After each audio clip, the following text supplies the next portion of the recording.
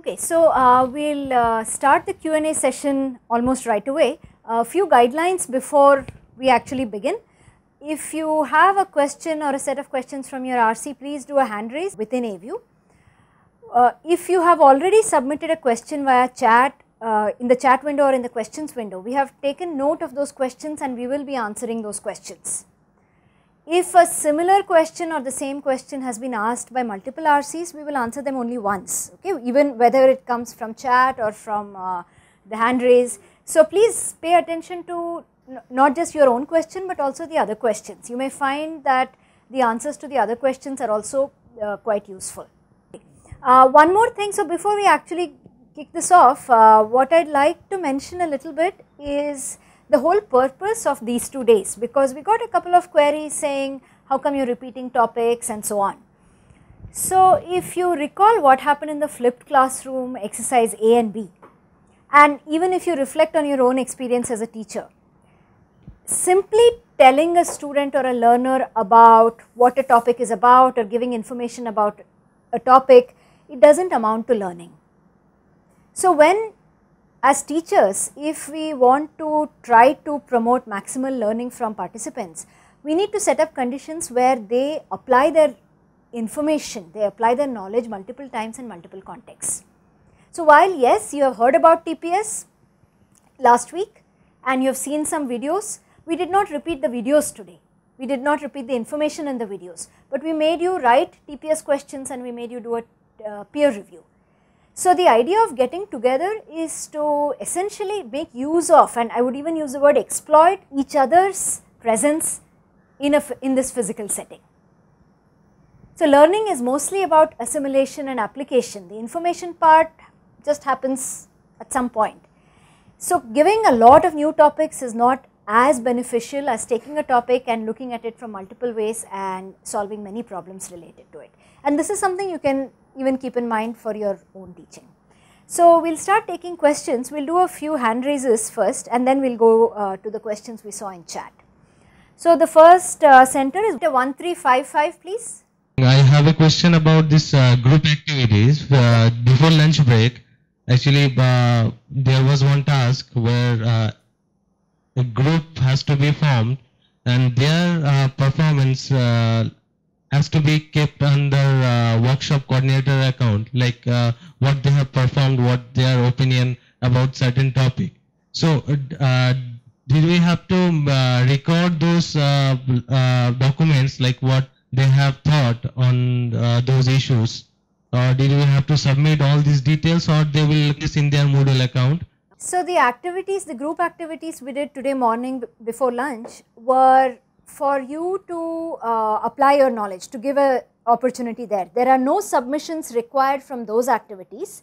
Our goal of asking the workshop coordinators to keep an eye was to promote this activity, was to make sure that there is sufficient uh, interaction between the participants.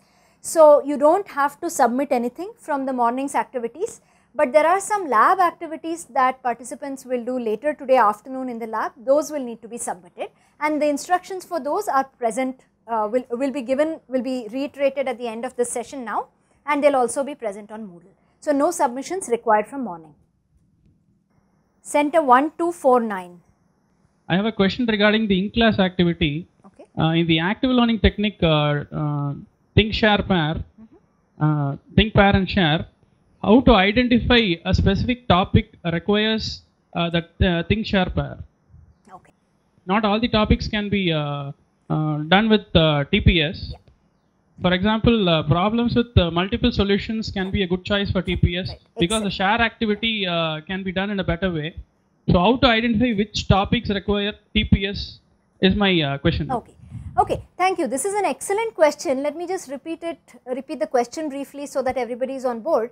Uh, the question is how do we identify topics which are suitable for doing think pair shares or which, which topics in fact should we be choosing to implement think pair share in. And as you noted center 1249 not all topics are equally suitable to do think pair share. So, uh, one quick answer is that or one quick resource this is not an answer but more of a resource. If you look at the guidelines for think pair share which have been uploaded that contains some uh, some recommendations on how to do it. So, even afterwards you can go and look at the guidelines. But in a nutshell, uh, think pair share is where the, uh, the input of multiple people, multiple thinking input, uh, thinking inputs are actually valuable. So, as you mentioned, if you have a problem which, which permits multiple solution approaches, it may be a design problem or it may be many more than one way to implement a program logic or it may be multiple solution approaches towards a similar final answer or it may be a problem which actually has no single correct answer but different perspectives are all valid. In such a case TPS is in fact a good alternative. A second place where you may try it is suppose you have a problem which is sort of complex and daunting for a student to do entirely on their own what the teacher does is split it into smaller parts, but not smaller parts as in do this first then do this, but the think phase is some is the aspect or uh, contains the part of the problem which every student can do easily. And then by the time they come to the pair, they can build on the think phase and maybe it requires two people to actually crack the problem that is given in the pair phase. So, you can always structure a very highly complex problem into the three phases so that students build on the previous uh, work, previous solutions they have built to reach the final answer. So, you will see similar recommendations in the guidelines for how to do TPS that have been posted. In fact, this question is something that you should be asking whenever you see any new strategy. Which topic is suitable for this strategy, which topic is not suitable.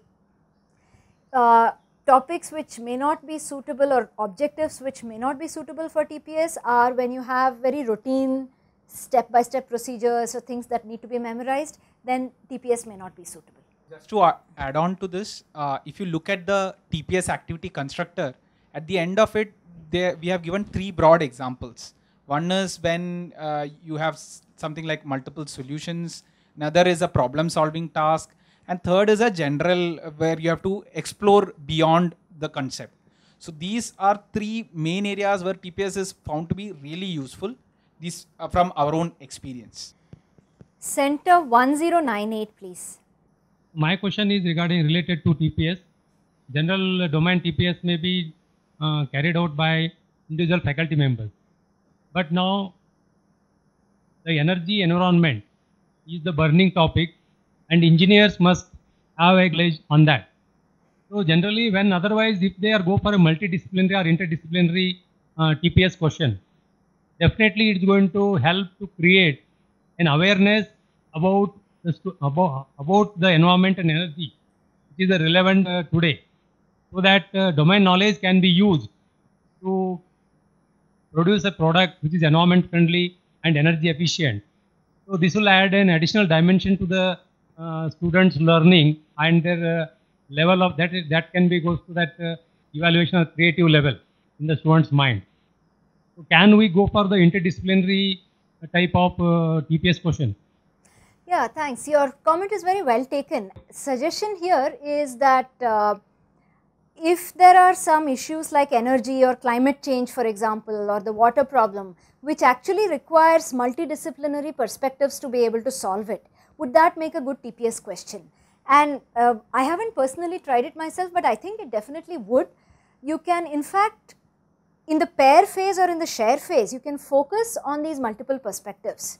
So for example, in the share phase, what you can do is try to get different pairs, each coming from a different angle to say, talk about their solution or their concern and actually highlight this, uh, these multiple perspectives.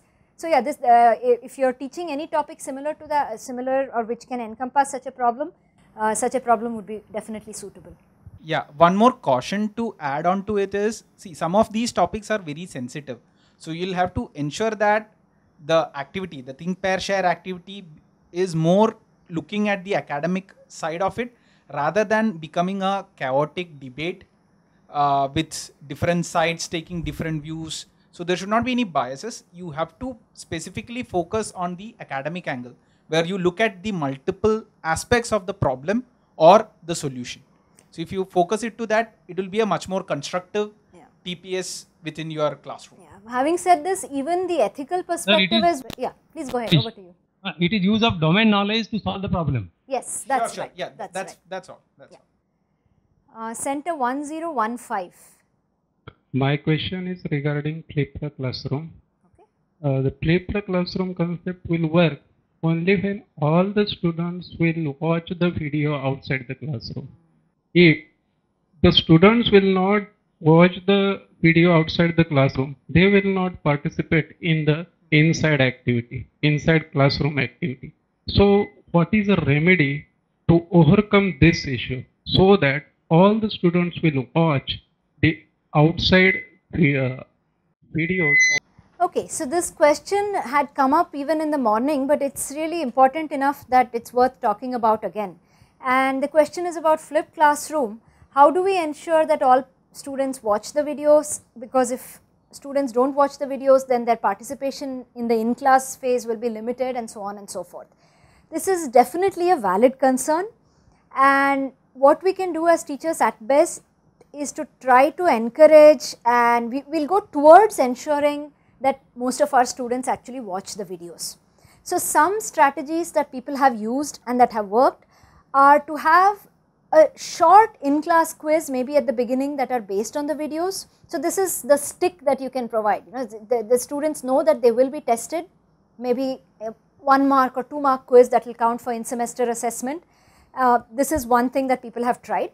It's also a good revision. If you have a quiz like this, it's a good revision of the video material. The other thing you can try which actually encourages students rather than discourages them is uh, to actually make the in-class activities interesting as well as worthwhile for them to engage in. So, if you have in-class activities where they feel that yeah this is useful for me if not in my exam then in my project or in the interview that I will be appearing for next year or in my placement and so on. So, make the in-class activities very relevant for them. This will also pull in more students to participate in the in-class activities and if they find that not watching the video is not helping them then you you are likely to find more people watch it the following time.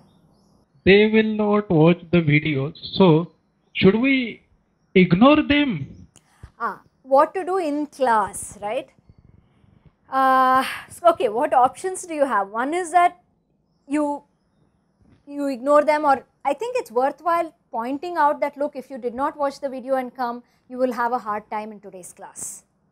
Don't allow them to disrupt your class because that's really not fair to the people who have already watched the videos.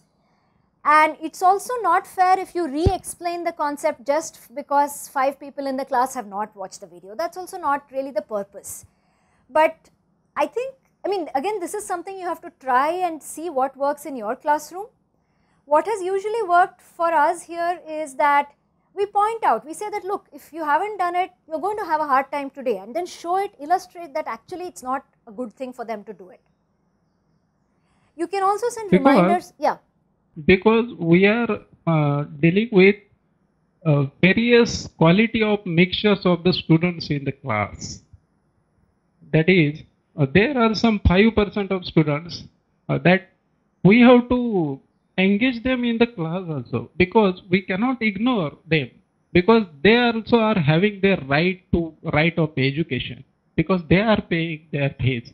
So, flipped classroom, this concept will be applicable for let's say 85 students, but for the five students, how we can uh, manage them and we cannot repeat as per your uh, discussion we cannot repeat the topic if i repeat the topic others will get irritated and others Yeah. will lose the concentration so that is a very serious issue So, uh, let me make a few comments here. So, we are having a discussion here, but I think this is really two or three important points about flipped classroom.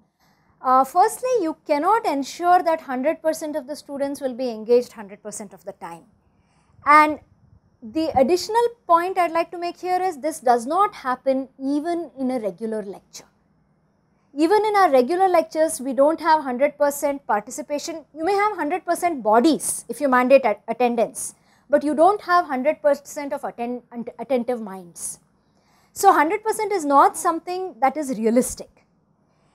What doing active learning aims towards and what it ensures to a large extent is that a larger fraction of your students are genuinely engaged in the content And you can read a few papers which say that look we found 80% of the students engaged 80% of the time. 80-80 is in fact a fantastic number compared to what happens in a regular lecture. However, oh. we cannot ignore even one student. So some other suggestions is have some other channels of communication open, keep a Moodle discussion going for people who need extra help, have extra office hours. So you don't need to get the other students irritated, but you have, we have to all use multiple prongs to try to address most of the students. I think as teachers that's the best we can do at this point. Okay, thank you, madam. One more question from my center.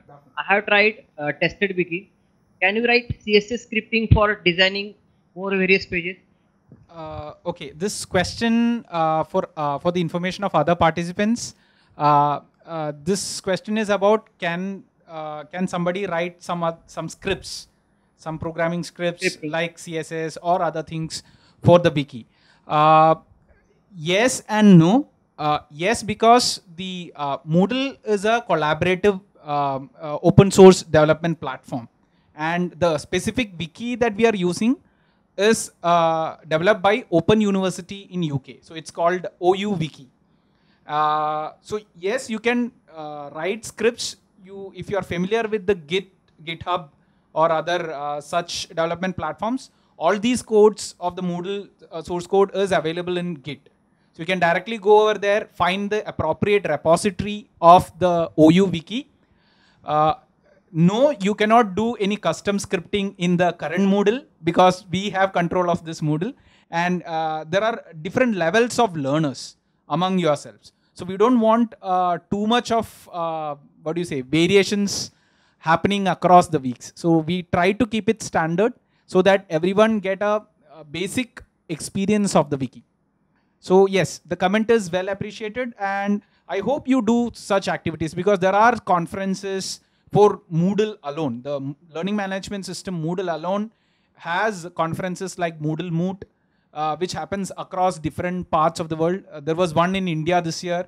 There's going to be another next year. So uh, I think the community is very large and uh, everyone is looking at teachers uh, rather than developers coming in and joining in uh, these Moodle Moot conferences.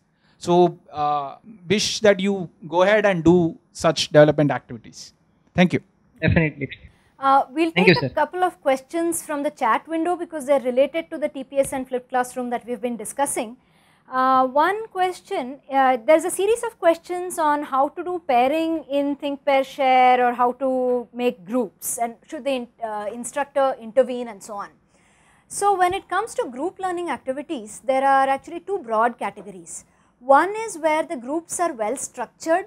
For example, if you have a project that has to be done for the entire semester, either the instructor makes the groups, forms the groups on some criteria or sometimes students form the groups, but these are structured group activities where the same group uh, does, the, uh, does the task for a certain amount of time and so on.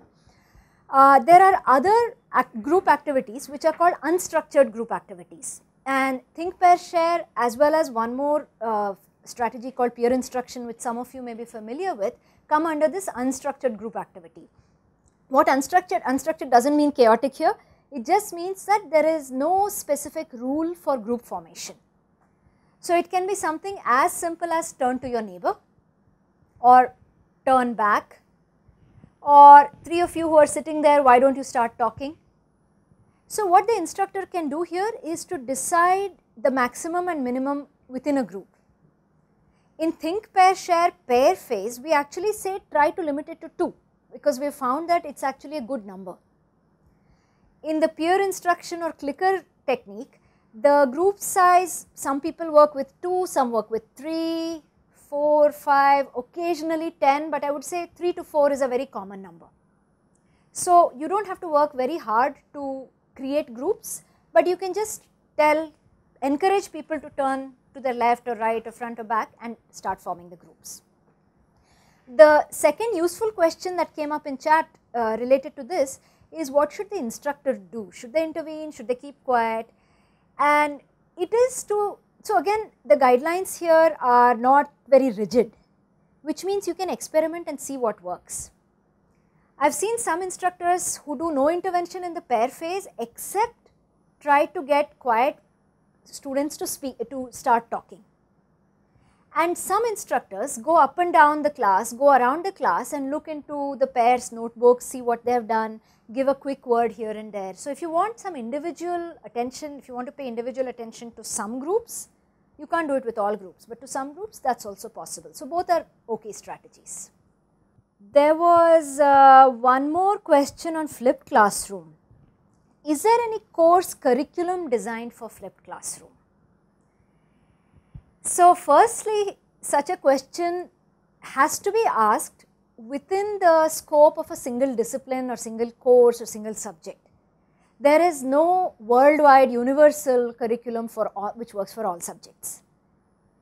And even within a particular course or subject or discipline, uh, I do not think there is like a specific curriculum that has come out, but if people have tried and experimented and done research, they have published research on what they have done, how they have done and what the research results are. So, that is something you can start reading. And finally, one goal of this FDP is that we create a community resource, uh, a set of community resources where if you want to co come up with your own flipped classroom curriculum, you can borrow resources from each other, you can use videos that she has created and the assignment that he has created, put it together, share that collected one with your other colleague and so on. So, that is about the curriculum aspect.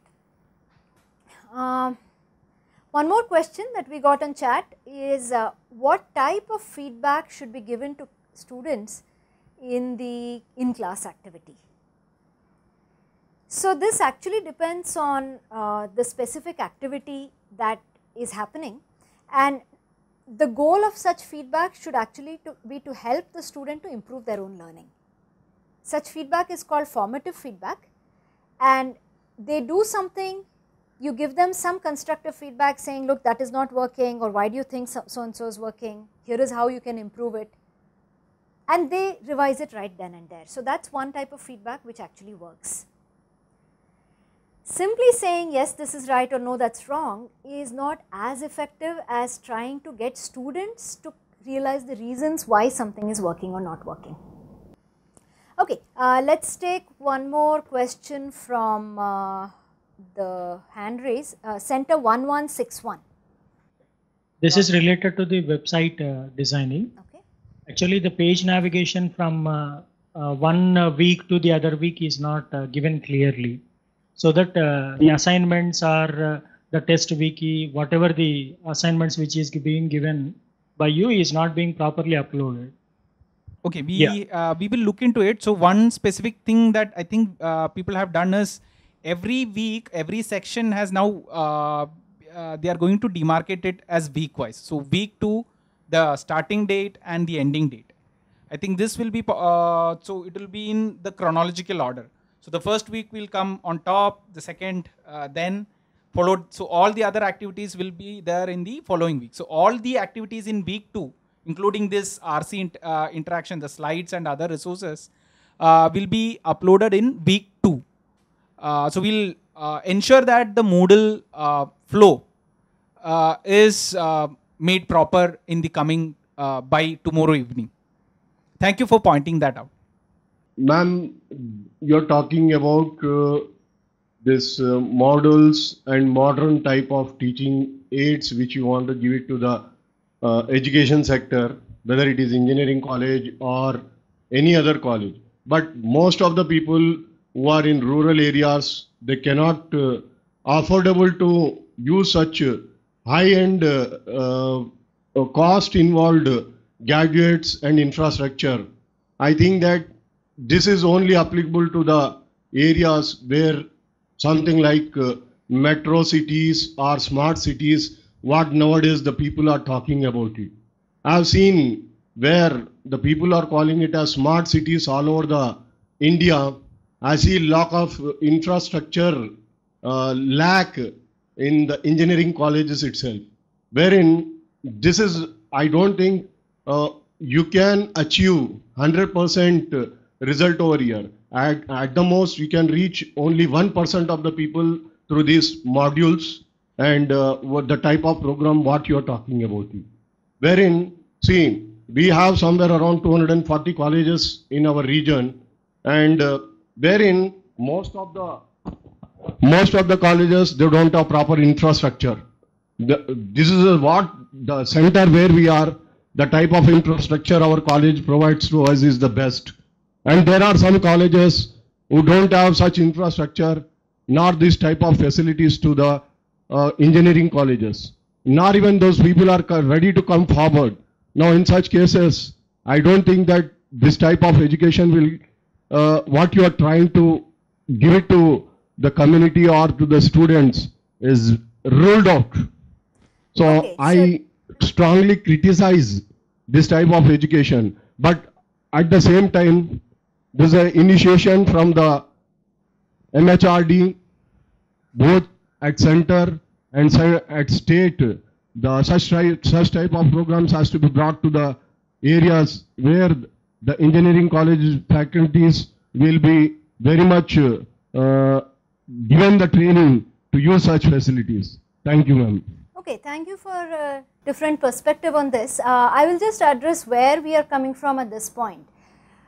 Uh, firstly, I don't think the number of colleges or people we're reaching is as low as 1% and definitely I agree it's not 100%.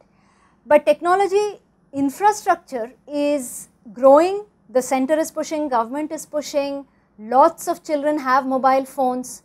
So one way of looking at this is when we have technology or when technology is being pushed on us, how do we use it most effectively? So we are not saying you must I do flipped classroom. ma'am. We are I not interrupt you. See, most of the student community who are using mobile phones, misusing their time 99%, going to the other content which is irrelevant apart from their education part. So one thing So we will address in this FDP is how we know our students have these mobile phones, we can't avoid it. So how, what are some things we can do to make them use it for more useful reasons? Secondly, if we want large scale outreach, Professor Phatak also mentioned today morning, technology is one way to get it. We are not saying it's the only way, we are not enforcing it on anyone. But most of you who've come here, your center, what you're seeing here, this technology is there. And what we are trying to do is to try to use it in a more productive manner. So Thank it's you, not about pushing technology or not, it's how to use the technology that is available.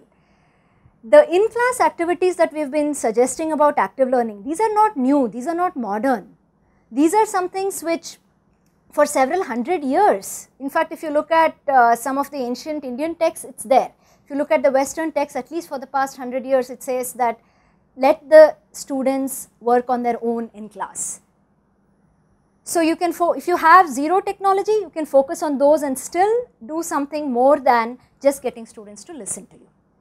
Okay, we'll take one more question from this center and then we'll move to one more center. me and my colleague uh, we have figured out uh, one of the topics and then we started working on tps strategy. And uh, we get uh, we ourselves we we got some doubts regarding this.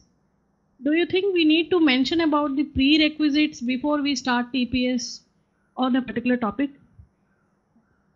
And uh, if the tps is get is um, during the course of uh, its implementation suppose if we come to know that the children are lit, a little more confused than what we are expecting them to then don't do you think we ha- we can repeat the same same flipped classroom again?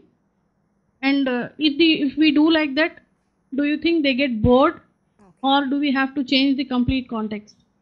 Okay, uh, maybe let's go a little backwards in terms of the chronology of your questions. That suppose we are doing a TPS and we find that students are not able to answer what we had set for them. What do we do at that time? Uh, so again these activities have a big advantage for the teacher in the sense it gives you immediate feedback about how much your students are able to do or not do. So the advantage of, of such activities is not just for the student but also for the teacher. So yes, at that point, you if you think it's worthwhile telling students to go back and watch the video, if you think that will help, go ahead, suggest it. If you think it might help for them to view some additional resources, not the same thing they saw, but something different which also might help them, you can suggest that. So you are really in control here in terms of what you do next. Okay, so you can mix and match these activities. There is no rigid prescribed format. There are some recommendations which are what we are repeating over and over that make sure they are short, make sure students can do it, make sure they are sequenced in a way and so on. Uh, regarding your Yeah. first question uh, which was uh, about prerequisites. So, it is assumed in general that the teacher is aware of what prerequisites are required for a particular TPS when you create it because you are the one who is also uh, taught the previous classes and you are the ones who have assigned the out of class activities. So, you definitely you have to be aware of prerequisites and you design the activity accordingly. If you want to mention it to the students that is also fine. You can in fact tell them the week before saying we will have an activity next week where you have to watch these videos or you have to make sure that you, these prerequisites are met. If you would like to do that, that is also fine. last point. Uh, during this uh, question and answer uh, session, I see that lot of uh, um, participants have been asking about the participation of each and every student in inside the classroom. How do we get um, uh, you know convinced that everybody is participating? Uh, one of the views what I got, I mean one of the suggestions what I got from the pre- previous uh, conduct a five minute um, kind of survey or I can say test kind of a thing in the last so that uh, we we have, uh, as a faculty would come to know if they have really attended or not Yeah, that might work. That's one assessment yeah kind of Yeah, evaluation thanks. Uh, center 1039. What is the advantage of FDP? Suppose uh, some faculty have different uh, way of teaching, but uh, FDP is giving some uh, same same information for all the faculty. Then how we faculty members can uh, implement these things easily? The mindset, how we can change the mindset? to answer to that, uh, the main aim of this FDP, as Professor Phatak and Professor Sahana has uh, reiterated, is these things have come to you. So how effectively can you make use of it? Uh, so uh, the best thing, if if there is some point of difference between your strategy or your thinking and what the instructors or the course content is saying is just find out what the differences are adopt whatever is acceptable and ask questions in these forums and to the other commu- uh, community members participants as to uh, are these differences a valid uh, point? Are these differences valid so you get inputs from multiple people not just faculty so as professor Phatak said we are all equals in this particular journey so there aren't any uh, right answers to say that all faculty should do exactly like this, but there are some guidelines, broad guidelines given to you by each of these activities. At an abstract sense, all these are proven effective through research, educational research. So educational research is something that you should believe in because many people have done it scientifically and they have found evidences. So the evidences, the data and the evidences are speaking to you. So hence these guidelines. For the others, it uh, the implementation varies from context to context, and for that you will have to take help from the community to see whether these differences are valid and if they are valid, what to do. So I think the community will be able to help you a lot, and that is why the focus is on building a collaborative community that uh, who are who are going to support each other in this particular journey. And feel free to test it in your own class. You got, a, think of this as a toolbox of strategies that you got from the FDP. You try it, your neighbor tries it, the other colleges try it, and then you can share your results with each other as Jayakrishnan mentioned. Uh, Center 1063. Have one question. Uh, is that course portfolio can be utilized for the students in our class sessions as now it is a part of Moodle? uh, the question that the participant is asking us can it uh, the students be given access to the course portfolio uh, i would uh, i would recommend you to uh, so if you have a moodle lms in your own college i would recommend you to use that particular interface for this uh, what do you say uh, for the student activity. But uh, otherwise for viewing i think you can show them how the wiki was organized.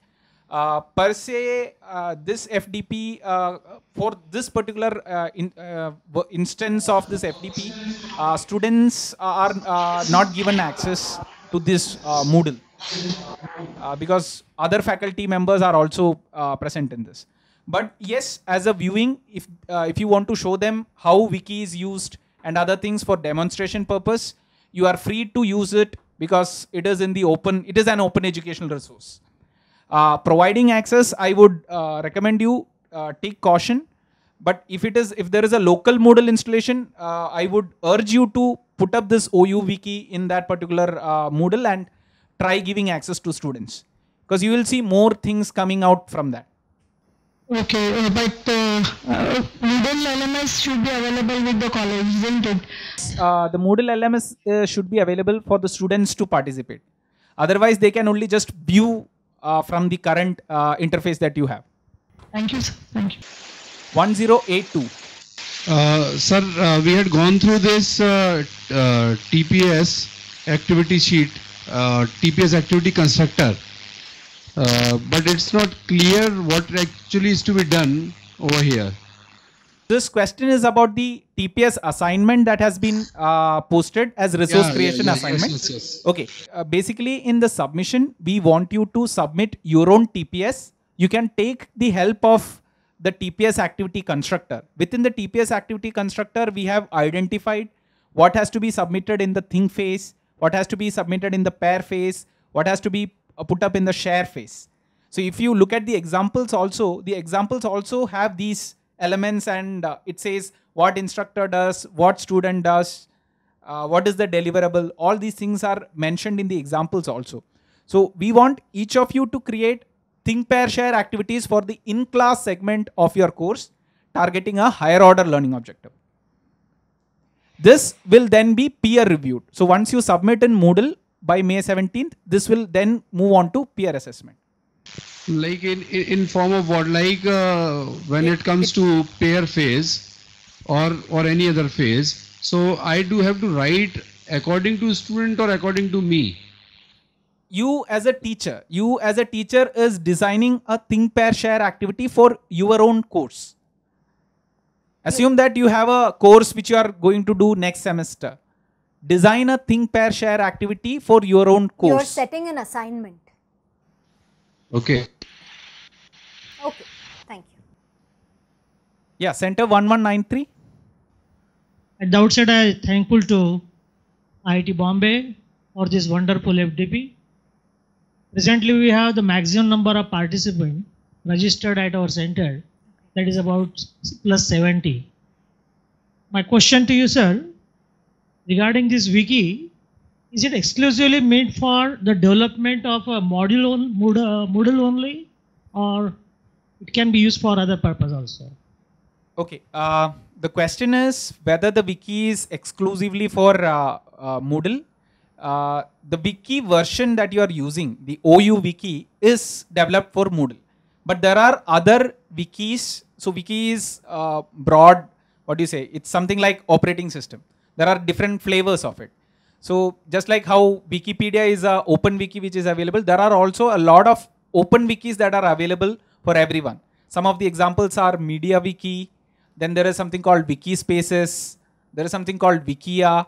All these are examples of open wikis. You can use it uh, for uh, a larger audience.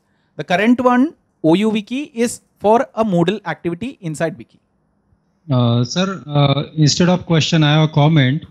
Uh, many people are asking about flipped classroom and they don't have the technology for that.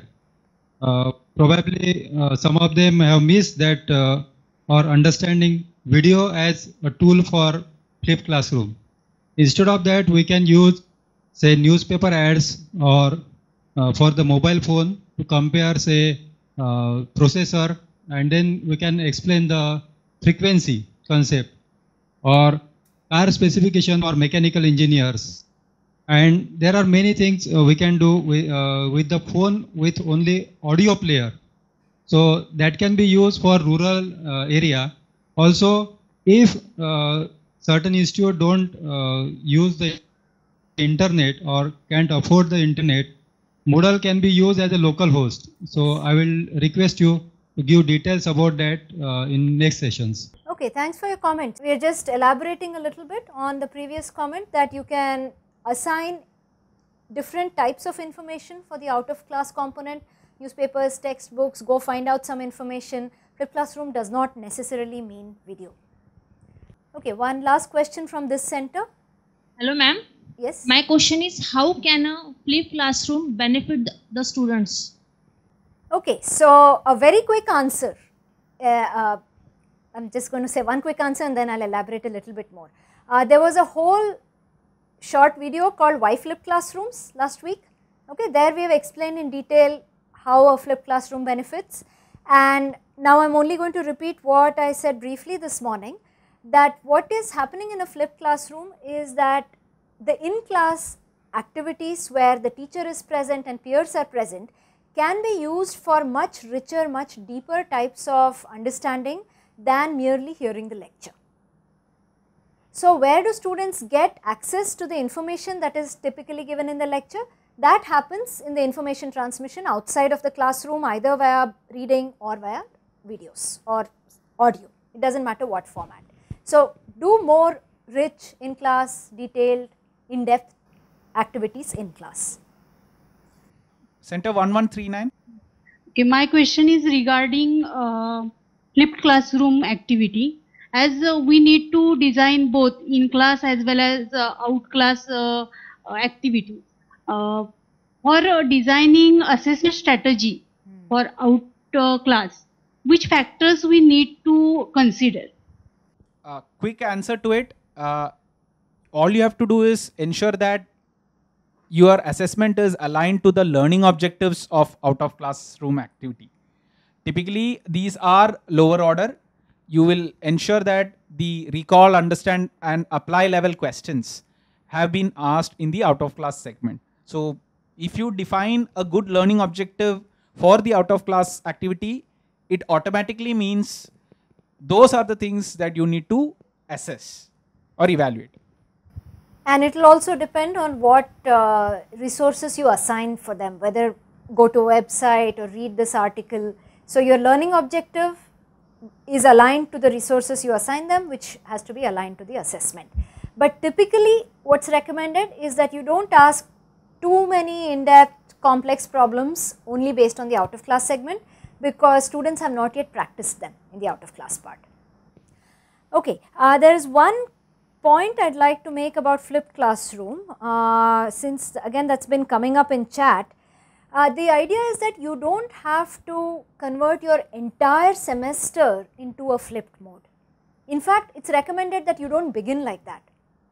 If you are teaching a particular subject which has many modules, many topics and if you want to experiment with some of these techniques, pick one or two topics, pick one to begin with and do a flipped mode version of it. Then see how it goes, refine your strategy, maybe do one more in the second half of the semester. There is no need to convert the entire semester, okay, right in the beginning. There are people who have done that and that is fine. If you want to do it, it is fine, but it is actually quite time consuming. So start small, get feedback from your peers, from others who have tried it, from your students and then you can increase the amount that you are doing. Center 1108. Madam, actually I want to ask whether there is any open source kind of platform which I can use for restricted access by only my students and my uh, means my institutional colleagues. Can we create such restricted kind of uh, Moodle-like activity which will be used only by our institute alone and it will not be open access uh, because uh, say we want to create only uh, for our institution or our group only. Do Is you it have possible by using some open source kind of platform? So, do you have a learning management system in your uh, institution? Something like Moodle installed No, in? See, uh, basically Moodle is a free software. You, all you need to have is a, uh, the downloads are freely available. Go to moodle.org. All you have to do is download it. But you should have a good support team who will manage the courses and uh, uh, uh, regular database backups and all those activities. So as it is, it is uh, absolutely free. Uh, only thing you should have people who have the know-how of maintaining such kind of systems. That is going to cost a little bit. Okay, sir, but can we keep it restricted to only one Sure, sure, organization, sure. only one Yes, yes. Yes. Uh, center 1355. Okay, so my question is uh, the concept that you have uh, described today about the flipped classroom. So what I felt that it is very much time consuming and considering the number of students, I think that we can't totally ignore the traditional learning procedure. What we can do for an optimized learning procedure is that we can effectively combine both the traditional way of learning and this flipped classroom together to have an optimized way of learning procedure. Uh, completely. So that's what my Yeah. comment Yeah, regarding completely- this. Yeah. Completely agree with you, sir. And yes, this is the same message that we want to give all other uh, people. It's not just complete ICT. Uh, we want more people to uh, use blended modes. That is why this workshop is there. Thank you. Uh, Center 1107. Uh, there is a confusion regarding the flipped class concept. Uh, in our education system, information is generally considered as the knowledge, but in the flip, flipped class concept, you are uh, saying that uh, the information transmission is outside the class and assimilation is inside the class. So isn't it a contradictory statement? So if you think about the various levels of knowledge and uh, there are many uh, such hierarchies, information is necessary but not sufficient. So you have information, knowledge, application, wisdom, you can go higher and higher. So information is something which is necessary, nobody is doubting the need for that, but it is not enough. Just because information exists does not mean that assimilation has happened and application can be done by the learner. So I don't believe this is a contradiction. If anything, what we are saying is that information is something with today's reach of the very of the world wide web or other sources, information is easily available today. 50 years ago, information was mostly available only with teachers. That is not the case anymore. Information is available, so let students make use of what's available, but it's only information which is available. What's not available easily still is the methods of problem solving, feedback by experts and so on. So that's still valuable to be done in a face to face setting where the teacher and the other peers are. Okay, uh, let's take one last question and then we will give you a few brief instructions for the lab where you go and uh, actually select videos or audio material and so on or websites for your flip class. Uh, so we will take one question now, there are more instances for uh, more opportunities available for questions. So this is center 1345.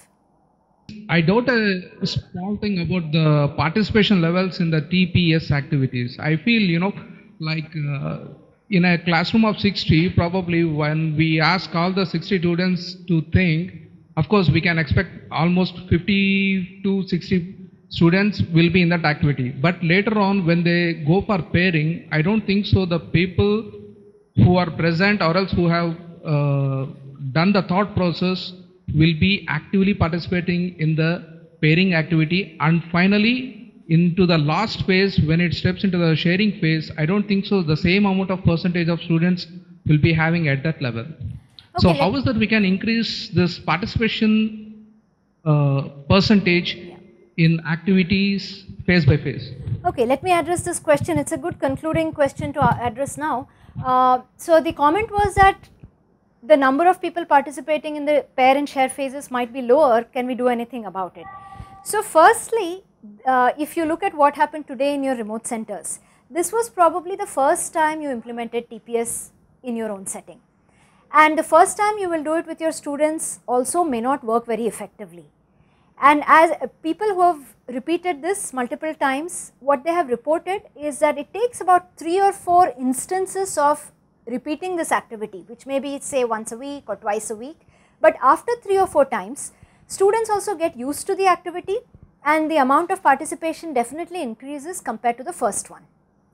Uh, there are a lot of research studies published on this and we uh, both at IIT Bombay and at some neighboring colleges, we have done it in classes of 250. So 60 is definitely manageable. Secondly, what you can do specifically to increase it in addition to sort of just do it 3-4 times and uh, is explain to students why you are doing it and what you think they learn. at the end of the activity do a little bit of debriefing as to what they learned, what happened, what you can do next and so on and make sure that the pair phase is really directly built upon and connecting to the think phase. Similarly, the share phase has to build upon the pair phase. So, when these phases are directly connected, students will want to discuss their answer or uh, give feedback to their neighbor's answer and so on. That is an, another guideline that has been found to be useful to follow. Okay, so uh, let us briefly talk about what you will do in the lab and then we will move on to the tea break. Uh, for all those people who have uh, questions, uh, we request you to post it uh, via chat or the question. We'll we'll be addressing it from tomorrow morning. We'll have more Q and A sessions, um, more detailed Q and A sessions tomorrow in the forenoon session and also in the afternoon session. right now, it is important that you try to practice what you have learned till now. So I'll just again uh, focus your attention to the flipped classroom activity constructor uh, that we had shared. Uh, so now you will all be moving to your lab and basically what you have to do is you have to fill the out of class segment of the flipped classroom activity constructor. Uh, we have enabled download of this. We will soon be uploading this in Moodle what we want all of you to do is complete the uh, basic information uh, that is about you where you give all these details. And also this section out of class segment where you have to find existing video resource uh, that is uh, open. So you have to specifically go and locate Creative Commons uh, resource from the web. We have uh, provided uh, the various links that you can use for this. NPTELs, uh, OER Commons, OCW Conver uh, Consortium, YouTube, Vimeo, all these places have been given and also a link from Edutopia which talks about open education resources and even a general Google search. You have to find these uh, resources. We are focusing primarily on video resource for this segment because that is what the technology uh, what you mean by uh, technology, uh, exposing you to the technology. And we want you to create this, uh, fill this particular slide where you identify the concepts and identify the portion of the video uh, where this concept is given. And this is one sample video which you would be giving your students in the uh, out of class segment of the flip classroom strategy that you are trying to do. So it should be from your course uh, video follow the guidelines of video selection that we have already given you and which is also available in this particular uh, constructor. We want you to fill slide number 5 till 18. So slide number 5 to 18 is what you have to fill we'll provide you the detailed, uh, so uh, particular assignment will be created in Moodle. So uh, this assignment is again open till uh, next Sunday. Take all your time, but initially in your lab, you have to spend maximum time identifying, locating the resource. You have your groups within your remote center. Take help from them. Get peer review of the selected material and your design you should look at the questions that we pointed out during the pros and cons analysis. So try to ensure that most of these questions you are able to give a satisfactory answer. Select a video and upload it in the Moodle. The appropriate assignment is going to be created uh, now. The assignment will be uh, lab session uh, uh titled appropriately and this information will be provided. All you have to do is go to the lab. So after tea, move to the lab, locate the video, create the out of class segment, slides 5 to 18. Complete slides 5 to 18 and upload in the Moodle. So thank you everyone. So there won't be, uh, there would not be any further interaction with the IIT Bombay Center today. We will meet you all tomorrow morning. Thank you.